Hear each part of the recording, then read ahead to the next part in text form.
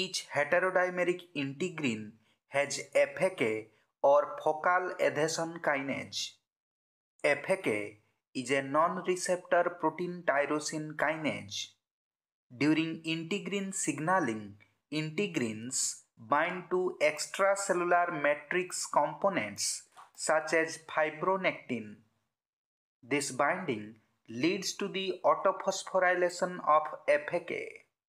As a result, integrins are clustered and FAK is activated. SRC then binds to the FAK autophosphorylation site. SRC then phosphorylates FAK on additional tyrosine residues. The FAK phosphotyrosines act as binding sites for a variety of downstream signaling molecules like GRB2 SOS complex.